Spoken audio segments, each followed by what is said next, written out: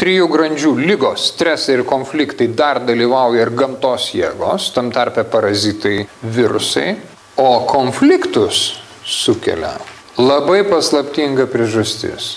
Tai yra pyktis ir pavydas. Tai yra, galima sakyti, dvi pačios giliausios fundamentinės negatyvios emocijos. Tai dabar aš jums atveriu vieną iš didžiausių paslapčių. Kodėl kyla žmoguje pyktis ir pavydas? Jų priežastis yra nesaikingas gyvybinių resursų naudojimas. Tai yra, kai žmogus bando į savo indą sutalpinti daugiau energijos, negu joje gali tilpti. Kitaip sakant, pyktį sukelia nesaikingumas, perlenkimai, piknaudžiavimas gyvybiniais socialiniais resursais. Kas yra turtingesnis ir laimingesnis gyvenime? Ar tėvas arba galima sakyti šeima, pora, kuri turi dešimt vaikų ir jų banko sąskaitoje niekada nebūna labai didelių pinigų, bet niekada nebūna ir minuso. Visą laiką yra kažkur aplink nulį ir šiek tiek su pliusu. Ar milijardierius, milijardierių pora, kurių banko sąskaitoje yra milijardas dolerių, bet jie turi tik du vaikus. Kas iš jų yra iš tikrųjų laimingesnis ir turtingesnis? Iš tikrųjų, ta pirmoji pora, kuri turi 10 vaikų, jie aktyvų formą turi 10 milijonų, galima sakyti 12 milijonų dolerių. Nes vidutiniškai vienas asmo, vienas žmogus per gyvenimą kainuoja apie milijoną dolerių. Grubiai, labai labai grubiai. Vieno žmogaus pagimdymas, užauginimas, išmaitinimas, išauklėjimas, aprengimas, palaikymas gyvybės per gyvenimą, gyvenimą ir apie milijonas. Yra visokių nuomonių, bet taip grubiai vidutiniškai. Tuo tarpu antroji šeima, kur yra labai turtinga, tuos milijardus jie galėtų paversti tūkstančiais vaikų. Nebūtinai savo, bet jeigu jie tos pinigus paverstų būtybėmis, tai būtų tūkstančiai būtybių. Taigi teisingas resursų naudojimas tai reiškia, kad jeigu jūs turite lyšną milijoną, tai verskite jį vaikų, o ne Tai, ką daro dažniausiai žmonės, jie turėdami didelius pinigus, jie tos pinigus verčia sensoriniais dirginimais. Jie verčia kažkokiais tai malonumais, tiesiogiai fiziniais, fiziologiniais malonumais savo. Jie bando tą energiją, tą milijardą investuoti į savo kūną. Kūne nėra tokios talpos, kad investuoti į milijardą tai virsta pražutingų jausmų ir sveikatos sutrikimais, jeigu žmogus bando injekuoti į save tokią energijos dozę. Tai reiškia, kad jeigu energija eina ne į būtybių kūrimą ir jų palaikymą, o į save, tai virsta pykčiu. Tas perteklius net nedidelis perdozavimas. Jis kelia žmogaus viduje energijos disbalansą, nemalonų jausmą ir iš šito prasideda stresai, lygos ir visos kitos bėdos. Jeigu jūs norite gyvenimo įgoj turėti malonumo jausmą, jūs turite savo viduje išlaikyti pusiausvyrą, lygtai tarp pozityvo ir negatyvo. Vienintelis vaistas žmogui išeiti iš šitų perlenkimų ir perdozavimų.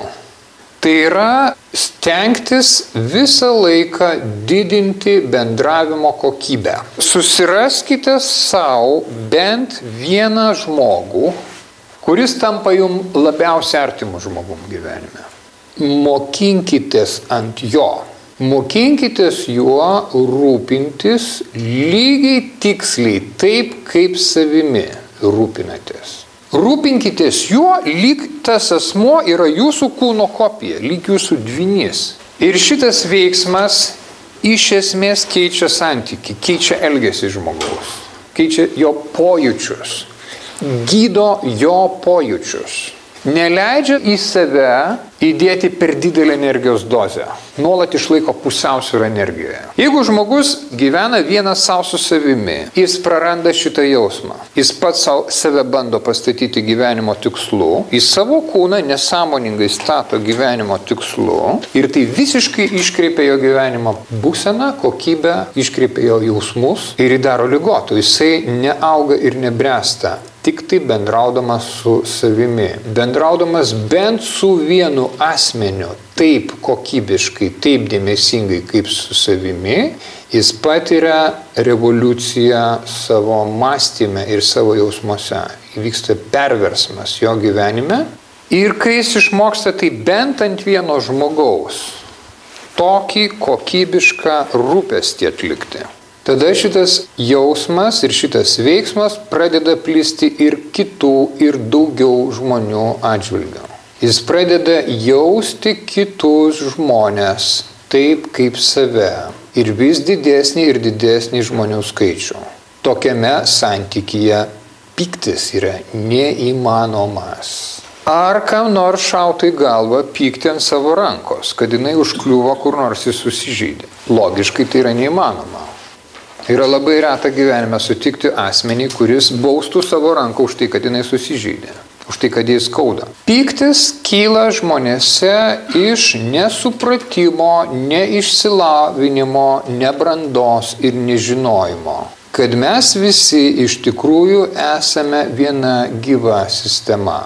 Mūsų akims atrodo, kad mes esame atskiros būtybės ir tai yra visiškai mechaniškas supratimas, kai iš tikrųjų mes esame viena didžiulė sistema, vienas didelis būtybių tinklas. Jeigu žmogų apima pykčio būsena, tai ji turi objektyvės pasiekmes. Pykčio metu žmogaus nervų sistema paralyžiuojasi iš vidaus.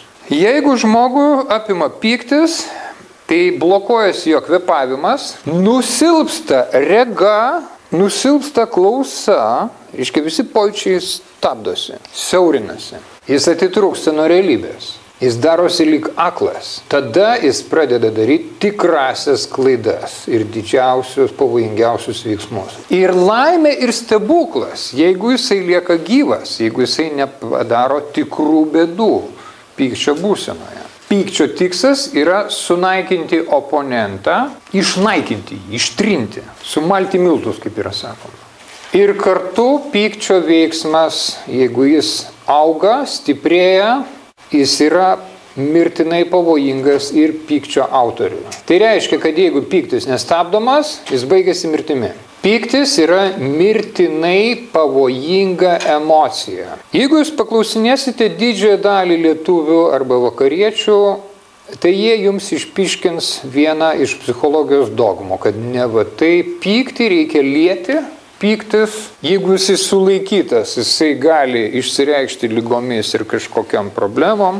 Garsiausi pasaulio psichologai pradėjo aiškiai kalbėti, kad su pykčiu elgtis reikia visiškai kitaip, negu buvo ilgą laikotarpį teigiama. Kitaip sakant, buvo atsigręžta atgal į senus klasikinius šaltinius, kurie visą laiką sakė, kad pyktį reikia saugoti ir laikyti visais įmanomais būdais. Tik super ekstra ypatingais atvejais galima šitą jėgą išlieti.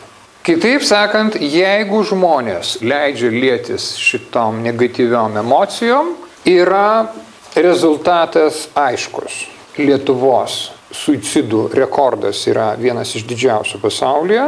Lietuvos šeimos santykiai yra vienas iš didžiausių antipavyzdžių pasaulyje. Vakarų Europoje dvi šalis turi skirybų rekordą, Lietuva ir Čekija skiriasi jau 60 procentų šeimų, kai šiaip bendrai vakarų pasaulyje skiriasi 50 procentų šeimų. Vienas iš svarbiausių faktorių keliančių šitokius rezultatus ir yra tai, kad negatyvas liejasi laisvai nestabdomas visų žmonių santykiuose.